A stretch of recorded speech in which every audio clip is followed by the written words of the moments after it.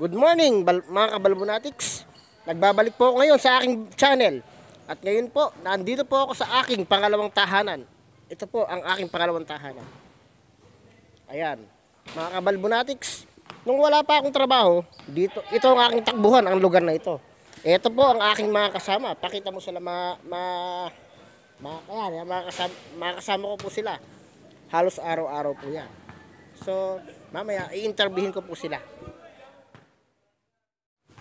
ganito kami noon. Ganito pa rin kami hanggang ngayon. Napakasaya ng buhay pagdating sa basketball. Merong parte sa buhay namin na talagang gustong gusto namin maglaro. Kahit mga sama ang panahon, maglalaro kami.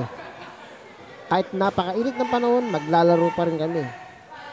Wala ibang ano sa buhay namin kundi ang paglalaro ng basketball. Dito kami nabubuhay minsan pinagkakakitaan ng iba pero kami laro lang talaga. May, may pagkakataon na nagkakasakitan sila pero dadaan naman sa maayos na salita. Kaya ang basketball para sa amin ay light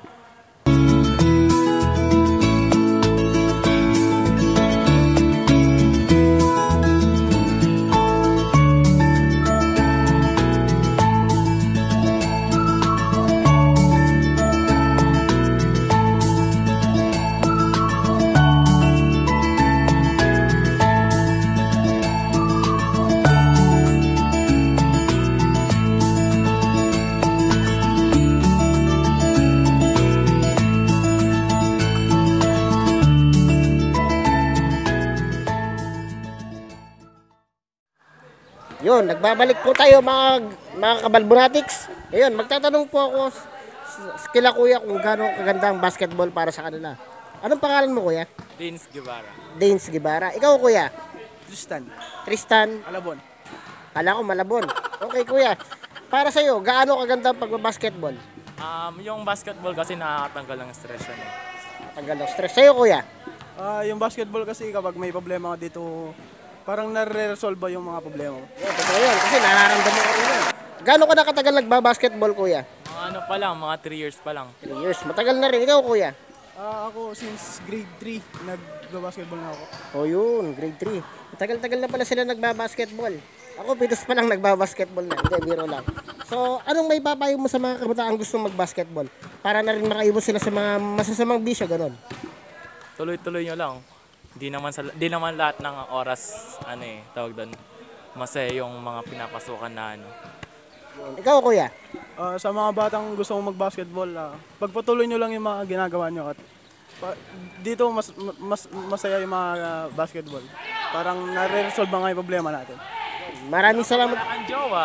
Kung wala kang jowa, dito ka makakakuha. Yun, patay tayo dyan. ako, tagal ko na nagbabasketball, pero ngayon hanggang ngayon, wala pa na akong jowa. Ayun. Mga, salamat mga kuya. Ayun. Ah, okay. Magtatanong po ulit tayo. Panibagong tanong na naman po. Kuya, ano pong pangalan nila? Jeff Pogi na lang. Jeff Pogi. Obvious naman. Ikaw, kuya? Josh. Diyos. Santana? Santana? Josh, Josh Pogi na. Diyos Pogi na. Pareho palang Pogi si kuya. Ikaw, kuya. Baka gusto mo sumali, kuya. Yun, ako, nahiya si kuya. Ah, kuya, ano masasabi mo sa paglalaro ng basketball? Siyempre, bukod sa nakaka-enjoy na, parang dito mo pinapawi yung lungkot tsaka pagod ng iyong buhay. Yun, talagang pagbalungkot ka nga naman. Dito mo talaga dadalhin, kuya. Sandali lang, kuya. Huwag ka magtago, kuya.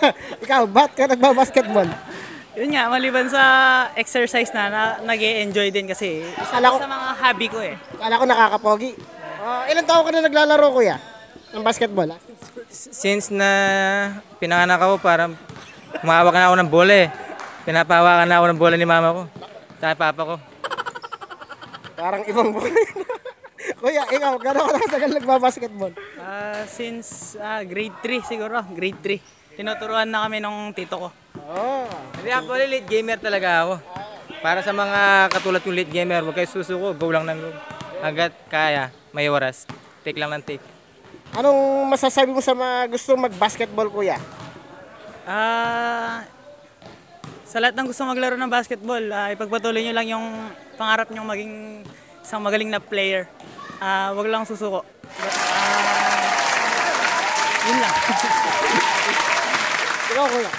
Ano? Kung doon sa sinabi mo na, ano pa masasabi mo doon sa mga gusto pong maglaro ng basketball? Siyempre, unang-una, kung gusto mo improve yung sarili mo, hindi lang sa para sa sarili mo. I-improve mo yung sarili mo para sa team mo.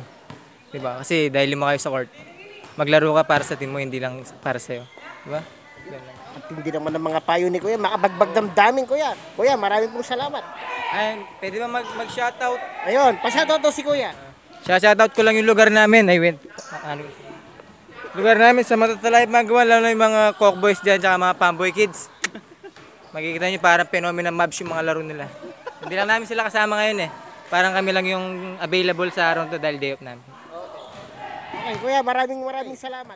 Jiro, anong feeling na nagbabasketball? Masarap.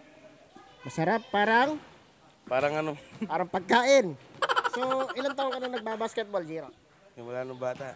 Bata. Oh, so anong may papayo mo sa mga gusto magbasketball? Para naman mabigyan mo sila ng words of wisdom. Laro lang kayo ng laro, lalakas din tayo. Yun, nak- talagang anong lalakas? Lalakas sa pagkain o sa paglaro? Paras!